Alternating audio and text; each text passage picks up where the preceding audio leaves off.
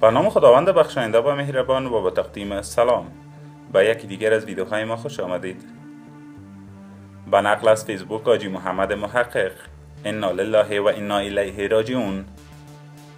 در انفجار سه معدن در منطقه شیخی ولسوالی در ریسوف قرار اطلاع اشخاص آتی جان باختند که ارواحشان شاد و قرین رحمت الهی باشند. غلام مرزا ولد حسین باشنده اصلی دهنه غوری ولایت بغلان.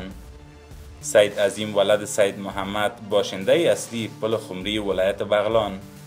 رولا ولد حسین باشنده اصلی و فیلی اشترلی ولایت دایکندی نعمت الله ولد سرور باشنده اصلی و فیلی شهرستان ولایت دایکندی حیات الله ولد حسین داد باشنده ولسوالی اشترلی ولایت دایکندی عبدالرشید حسین علی باشنده اصلی ولسوالی خدر ولایت دایکندی.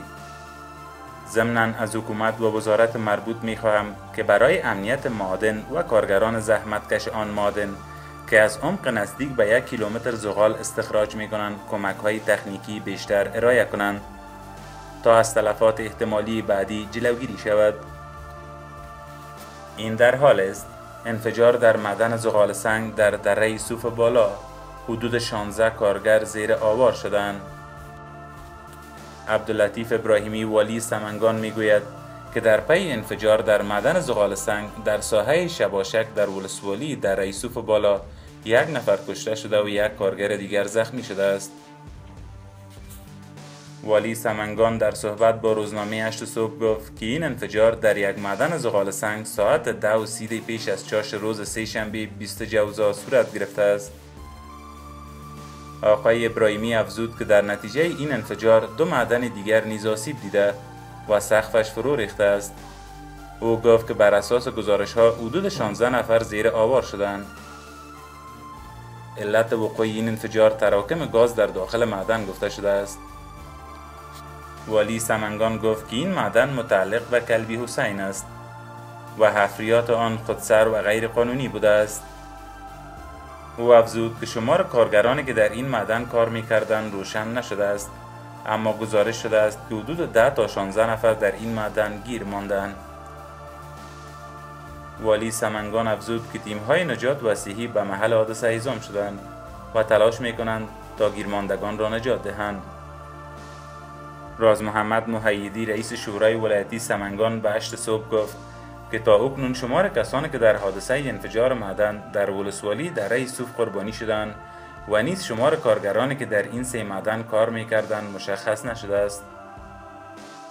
رئیس شورای ولایتی سمنگان گفت که هیچ کس اطلاع ندارد که در این معدن چند نفر کار می‌کردند و در حال حاضر سراسیمگی در نجات گیرماندگان در منطقه شباشک حاکم است. او افزود که تیم‌های نجات کار را آغاز کردند. و حدود 300 متر در داخل تونل در معدن پیشروی داشتند. اما تونل حدود 700 متر طول دارد و تیم نجات به گیرماندگان نرسیده است. ولی سمنگان می‌گوید که کارگران این معدن باشندگان ولایت دایکندی بودند. حوادث مشابه در ولسوالی در ایسوف بالای ولایت سمنگان پیش از این نیز رخ داده است. این ولسوالی دارای ذخایر زغال سنگ است. بیشتر زغال سنگ در این ولسوالی از سوی مردم به شیوه سنتی صورت می‌گیرد. و همچنان خشم شهروندان از نبود اکسیژن برای بیماران کووید 19 در شفاخانه ها اعضای شمار از خانواده های بیماران کووید 19 می‌گویند که برای جلوگیری از جان باختن بیمارانشان اکسیژن از بازار می‌خرند و به این شفاخانه میارند اعضای شمار از خانواده های بیماران کووید 19 وزارت صحت آمه را به بی برنامگی در مدیریت ویروس کرونا متهم می سازند. این خانواده ها می گویند که برای جلوگیری از جان باختن بیمارانشان ناگزیر هستند که یک بالون اکسیژن را تا 20 هزار افغانی از بازار خریداری نمایند. ولی وزارت صحت عامه افغانستان می گوید که تا اکنون درباره ظرفیت شرکت های تولید کننده اکسیژن اطلاع ندارد. و گزارشی از طلو نیوز اعضای شمار از خانواده های بیماران کووید 19 می‌گویند که برای جلوگیری از جان باختن بیمارانشان اکسیژن از بازار می‌خرند و به این شفاخانه میارند در روزهای اخیر شفاخانه های کشور با کمبود اکسیژن روبرو بودند. از همین رو این بیمارداران پیش از آن به بیمارشان نیاز به اکسیژن پیدا کنند. این بالون ها را از بازار می‌خرند و با خودشان می آورند محمد سهراب عضو خانواده بیمار گفت پنج دقیقه اکسیژن بود خلاص شد. گفتند بروید شفاخانه های شخصی. و شفاخانه های شخصی هم رفتیم آنجا هم اکسیژن نبود. مجبور شدیم به یک مشکل یک بلون خرد را دوازده هزار خریدیم. این دولت چی می‌کند؟ پیسه ها را خوردن. قدرت الله عضو خانواده بیمار گفت مشکلات نبود اکسیژن است. دیروز همین جا نفر فوت کرد. در پهلویش مریض ما بود و مریض ما را روحیش را از دست داد. علت مرگ این بود که اکسیژن نبود. بسیاری از خانواده هایی که بیمارانشان را در خانه پرستاری می کنند برای خرید بالون های اکسیژن به این دکان ها می آیند اما در دکان ها نیز اکسیژن پیدا نمی شود پهلوان ستار پارسا فروشنده اکسیژن طبی گفت دیروز مشکل به حدی زیاد شد که ما بسیار به مشکل روبرو شدیم. مردم که در خانه مریض دارند چه کنند اختر محمد فروشنده اکسیژن طبی گفت در گذشته یک بالون را به همه چیزش 6000 می فروختیم. حالا 20000 شده. حالا بالون نیست اکسیژن نیست شرکت های اکسیژن نمیارند محمد ایسان فروشنده گفت شرکت ها حالا پشت قراردادهای کلان هستند به دکان ها اکسیژن نمی آورند اینجا شفاخانه های خصوصی و مردم می آیند اما اکسیژن نیست. خلیل احمدی باشنده پایتخت گفت این حکومت چه می کند جلو فساد را باید بگیرد. مسئولان شفاخانه افغان ژاپن که یکی از شفاخانه های پر رفت آمد در کابل است از کمبود امکانات در این شفاخانه سخن می‌زنند و می‌گویند در حالی که بخش عاجل این شفاخانه تنها دوازده بستر دارد اما روزانه در حدود 80 بیمار به این بخش مراجعه می کنند. سرطبیب این شفاخانه می گوید که در شفاخانه افغان ژاپن در یک شبانه روز بیش از 500 بالون اکسیژن مصرف می شود.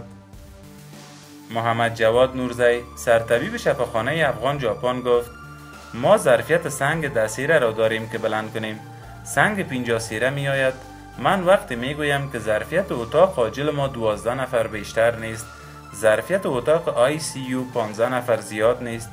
پیش ما روز 80 مریض می آید که چرا اکسیژن نیست؟ چون ما همان قدر اکسیژن داریم که مصرف می شود وزارت صحت عامه شما را از تولید کنندگان اکسیژن را به احتکار متهم می سازد وعید مجروح موین عرضه خدمات صحی وزارت صحت عامه گفت شرکت ها ظرفیت متفاوت دارند اما واقعیت را هنوز با ما شریک نساختند آماری را که ما دریافت کرده ایم به ما قانی کننده نیست. رحیم الله سمندر رئیس ایت عامل اتاق معدن و صنایع گفت ظرفیت تولید روزانه این شرکت ها خیلی زیاد است. اکثریت شرکت ها 300 تا 400 متوسط و تا 600 بالون روزانه تولید می کنند و یک شرکت ما ظرفیت تولیدش در حدود 500 بالون است. آمارهای جدید کرونا در افغانستان وزارت صحت عامه امروز سهشنبه 20 جوزا اعلام کرده است که در یک شبانه روز گذشته 542 رویداد مثبت تازه ویروس کرونا در کشور ثبت شدند. وزارت صحت عامه می که 15 تن در 24 ساعت گذشته جان باختند و 480 تن دیگر بهبود یافتند. تا کنون 384 بیمار کووید 19 در کشور جان باخته و 2651 بیمار هم بهبود یافتند. وحید مجروح معاون وزارت صحت در یک نشست خبری امروز گفت که شمار مبتلایان ویروس کرونا بیشتر از آن است که این وزارت گزارش داده است او در این باره افزود آمار که تا اکنون پخش شده است تنها از کسانی است که آزمایش شده است و کسانی که مشکلشان کم است به شفاخانه ها مراجعه نمی کنند.